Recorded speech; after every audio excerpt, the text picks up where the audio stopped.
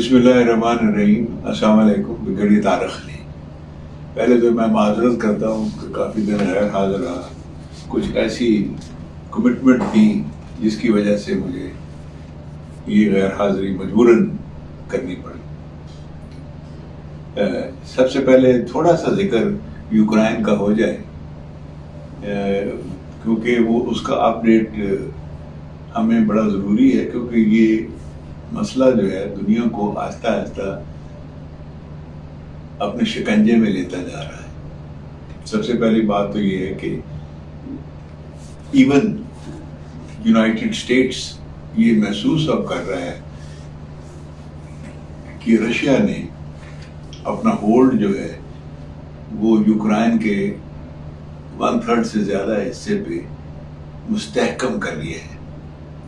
और gradually Russia is on the winning side और ये फीलिंग इवन यूरोपियन यूनियन भी है।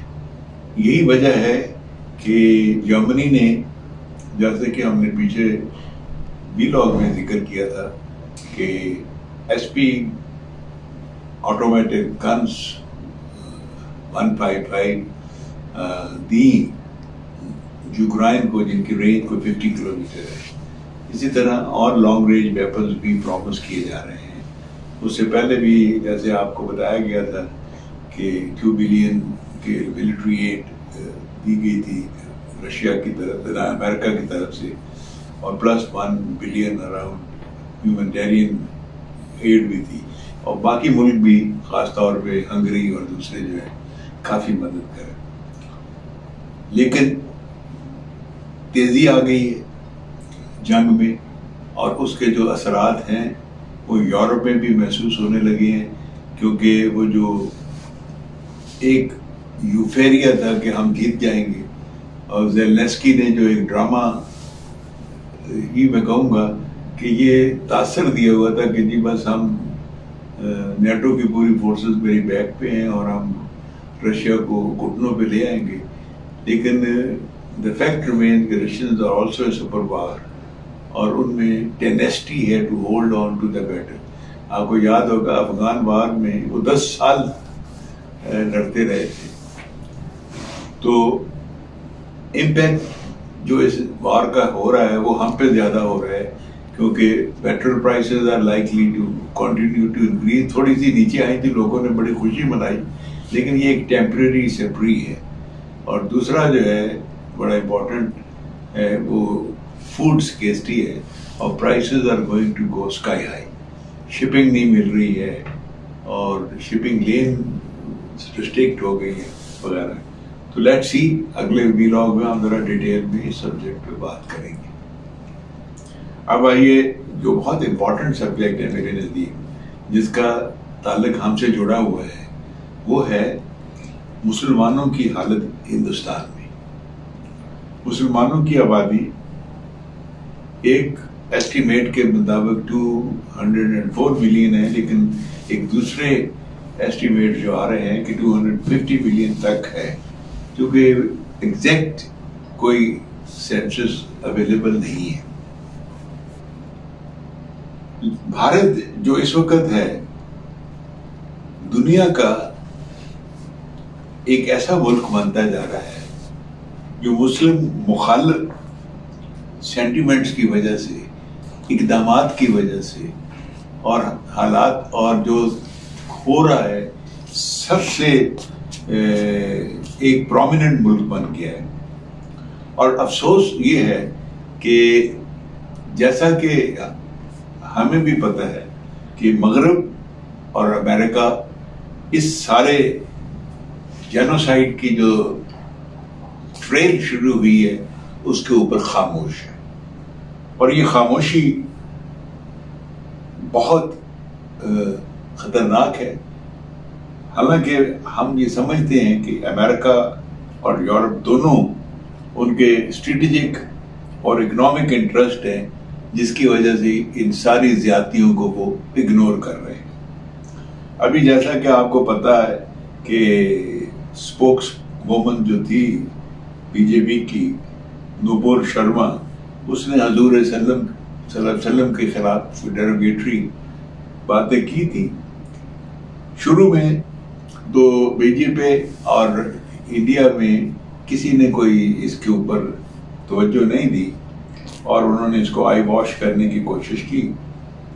लेकिन जब इंटरनेशनल प्रेशर बहुत बढ़ा तो उन्होंने एक देखने के लिए एक लीगल एक्शन भी कर दिया कि जी इसके खिलाफ मुकदमा कर दिया। द फैक्ट रिमेन्स इस हरकत की वजह से यूरोप में एक नई एंटी मुस्लिम वेव शुरू होगी।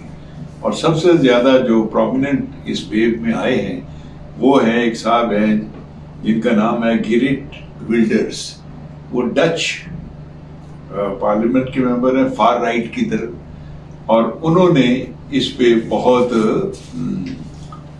ओपनली शर्मा को सपोर्ट किया। और ये जो उनका डायलॉग थे और जो भी उनके टीवी चैनल्स पे भी आए थे, इंडियन टीवी चैनल्स ने इसको बड़ा प्राइम टाइम में स्पेस दी उनके ख्यालात को, क्योंकि वो और जो इंडियन एंटी मुस्लिम एलिमेंट्स हैं, वो ख्यालात आपस में मुताबकत रखते थे।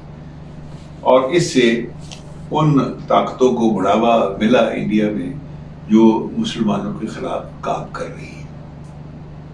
क्योंकि ये जो कन्वर्जेंस है, जिसको हम कह सकते हैं कि यूरोप और अमेरिका की एशिया के साथ मुस्लिम मुखाल जज्बात के बारे में ये एक बहुत खतरनाक ट्रेंड है और ये कम होता नज़र नहीं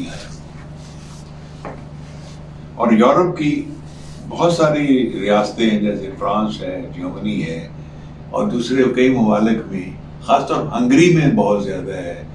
ये एक फार राइट मूवमेंट का हिस्सा बन गया है और उसका इम्पैक्ट दो तरह से आ रहा है। एक इंटरनेशनली मुस्लिम मुखालफ जज्बात जो हैं, वो इंडिया को इनक्रेज कर रहे हैं कि वो अपने इरादों में आगे चलता जाए। और दूसरा जो है इमिग्रेंट जो हमारे यूरोप जा रहे हैं, उनके खिलाफ ज़मीन तंग करते जाए। तो कोशिश यही हो रही है कि जो मुस्लिम इमिग्रेंट हैं, उनको यूरोप में ना आने दिया जाए। इसी तरह जो वर्कर्स हैं, उनके ऊपर भी एक किस्म की सख्ती आती जा रही है। तो हमें क्या करना चाहिए, ये अभी हम आगे बात करेंगे। क्योंकि यूरोप ये समझता है और अमेरिका भी ये समझता है जब याद होगा आपको clash of clash of civilization का सिलसिला शुरू हुआ था कि इस्लामिक वैल्यूज़ जो हैं, वो डेमोक्रेटिक वैल्यूज़ ऑफ़ वेस्ट के मुखालफ है। और ये एक ऐसा फलसफा है जिसको बहुत उठा के पेश किया जा रहा है। और वो मैक्सिमम थ्रेट वो ये समझते हैं कि इस्लामिक वैल्यूज़ की तरफ़ से है।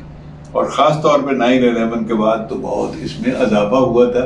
बाद में कुछ रिसेशन हुआ, लेकिन दोबारा इसको अभी उठाया जा रहा है। तो एक बहुत ही एक अजीबो गरीब थ्योरी पेश की जा रही है। कि in way in the guise of immigrant Muslims are invading Europe so we must protect our rights तो इसको पकड़ के, मुसलमानों के खिलाफ इमिग्रेंट के खिलाफ आप देखते होंगे, हर दूसरे, तीसरे हफ़्ते कुछ ना कुछ चलता रहता है। और इधर, हमारे पड़ोस में, भारत में, इन जज्बात को बहुत ज़्यादा उबारा जा रहा है। तो इन हालात में आप देखें भारत के साथ साथ बर्मा में मुसलमानों के साथ क्या हो रहा है? और जो इस मिलिट्री जनता से पहले खातून हुक्मरान थी सेंजू की उ, उनकी और विक्टर ऑर्बन जो हंगरी का प्राइम मिनिस्टर था उनकी मुलाकात। ऑर्बन जो है बहुत सख्त मुस्लिम मुखालफ है। और दोनों में इस बात पे ये इतफाक हुआ कि इस्लाम सबसे बड़ा मसला है। और ख़ास तौर पे हंगरी अपनी मुस्लिम पॉपुलेशन की वजह से बहुत परेशान है। वो कह रहे हैं कि ये ग्रो करती जा रही है। इसीलिए भारत को भी ये शय मिलती है यूरोप की तरफ़ से, और वो मुसलमानों पे ज़मीन आस्ता आस्ता तंग की जाती है। और मैं आपके आपको ये चीज़ पावर कराना चाहता हूँ कि जेनोसाइड की कुछ स्टेजेस होती है। और इंटरनेशनल एक्सपर्ट जो हैं जो जेनोसाइड को स्टडी करते हैं ख़ास तौर पे इनमें लीडिंग है ग्रेगरी शंटन उन्होंने कहा कि ये जेनोसाइड का अमल भारत में प्लान नहीं, अब शुरू हो चुका है। और वो आस्ता आस्ता शिकंजे को टाइट करते जा रहे हैं ताकि मुसलमानों को भारत से एलिमिनेट किया जाए। या तो वो हिंदुआ भारताई, या जिसको कहते हैं ना, हिंदुआना रंग में रंगे जाए, उसी मोल्ड में आ जाए, या शुद्ध होके हिंदू बन जाए। वो उनका पॉइंट ये है कि जी मुसलमान बहरहाल पहले हिंदू थे, फिर मुसलमान बने थे, जो कि गलत है, ये थ्योरी में बहुत, क्योंकि मुसलमानों की आबादी में जेनेटिक मुस्लिम भी जो बाहर से आए थे, पिछले चौदह, बारह, चौदह सौ साल से वो यहाँ सेटल हुए थे। उनका, वो थे ही मुसलमान और वो उनका कोई तलक हिंदुओं से नहीं था। यस हिंदुओं से भी बने और दोनों हैं। और जब ये कोरोना वायरस आया है, इसने भारत में हुकूमत को ये एक मौका खास तौर पे जनता पार्टी को कि वो लॉकडाउन की सूरत में मुसलमानों को कंटेन करे एरियाज़ में। और ये इसको बहुत ज़्यादा बढ़ावा दिया गया बिहार और इधर कश्मीर में। और उनको बिल्कुल आइसोलेट कर दिया गया। और इससे